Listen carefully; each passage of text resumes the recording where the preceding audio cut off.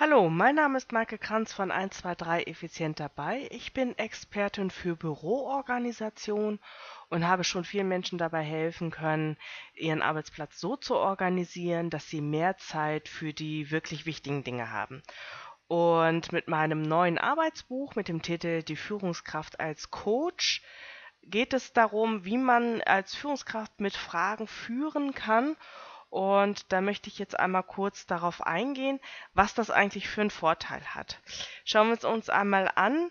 Ähm, die Führungskraft als Experte, die immer alles weiß und ähm, auf alles eine Antwort weiß, ist letztendlich der Held. Aber als ähm, Held äh, ist man letztendlich die Person, die ja Experte in allen Themen ist, alles selbst entscheidet und jedes Problem löst.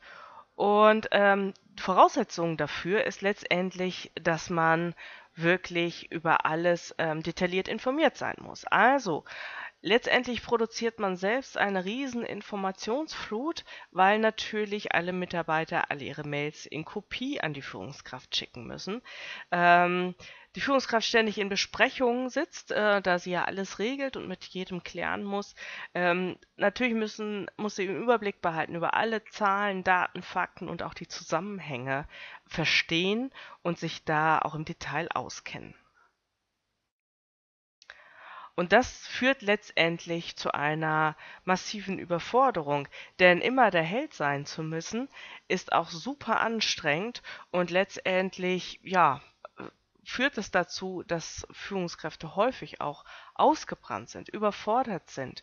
Ähm, und äh, sag, mir in meinen Trainings immer wieder sagen, ja, ich sitze den ganzen Tag in den Besprechungen, äh, komme erst ab 18 Uhr überhaupt dazu, meine eigentliche Arbeit zu erledigen, sitzen dann bis 22 Uhr letztendlich am Schreibtisch und am Samstag auch noch. Urlaub, davon kann eigentlich schon gar nicht mehr die Rede sein. Deswegen kann das eigentlich nicht mehr der richtige Weg sein. Und die Lösung dafür ist äh, letztendlich dass man als Coach äh, sich versteht. Das heißt, mit Fragen führt, Fragen ähm, zum Hintergrund stellt, Fragen zum Prozess stellt. Also, äh, was ist bisher gelaufen? Was hat der Mitarbeiter bisher getan, um ein Problem zu lösen? Und was könnten die nächsten Schritte sein? Das heißt, durch diese Fragen kommt der Mitarbeiter in die Situation, dass er selbst das Problem lösen kann. Und das stellt eine Riesenentlastung für die Führungskraft dar, weil sie sich nicht mehr so im Detail auskennen muss. Das, äh, dafür ist der Mitarbeiter verantwortlich und letztendlich diese Gespräche auch schnell mal zwischendurch geführt werden können. und auch gar nicht so lange dauern. Und äh, der Vorteil ist eben auch für den Mitarbeiter, dass der halt ja, merkt, Mensch, ich kann meine Probleme selbst lösen und das motiviert ihn einfach unglaublich und trägt zu einer hohen Zufriedenheit bei. Wie können denn jetzt solche Coaching-Gespräche aussehen? Wie, äh, was sind da für Schritte? Welche Fragen kann man stellen? Darum geht es jetzt im Detail in diesem Buch und zwar stelle ich Ihnen in, in diesem Arbeitsbuch verschiedene Fragetechniken vor. Ähm, 19 verschiedene sogar. Ja, man glaubt immer, naja gut, es gibt offene und geschlossene Fragen äh, und damit ist es doch getan. Nein, es gibt natürlich offene und geschlossene Fragen, aber noch äh, 17 weitere Methoden.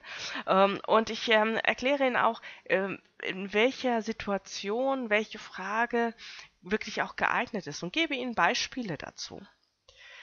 Ähm, außerdem zeige ich Ihnen verschiedene Fragestrategien. Also ähm, wie kann ich mich auf ein Mitarbeitergespräch vorbereiten? Wie kann ich das durchführen? Welche Schritte sind da sinnvoll? Ähm, das gleiche natürlich für ein Abteilungs-, Team- oder auch Projektmeeting.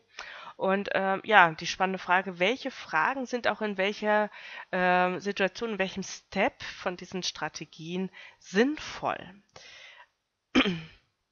Ja, und damit Sie das dann auch alles selbst nochmal ausprobieren können, ähm, habe ich in diesen Arbeitsblättern, es ist ja ein Arbeitsbuch, also hat es auch viele Arbeitsblätter für Sie, verschiedene Übungsaufgaben zusammengestellt, ja, dass Sie also selbst mal üben, solche Fragen zu formulieren und ähm, geeignete Situationen zu finden aus ihrer Praxis, ja, sodass ihnen der Praxistransfer auch äh, leichter fällt. Ja, das sind letztendlich die Inhalte von diesem ähm, Arbeitsbuch, das als E-Book ähm, zur Verfügung steht. Wenn ich Ihr Interesse geweckt habe, wenn Sie dieses Thema einfach vertiefen möchten für sich, dann klicken Sie bitte hier unter diesem Video auf äh, den Bestellbutton und nach der Bezahlung bekommen Sie sofort Zugriff auf dieses Arbeitsbuch. Viel Erfolg damit!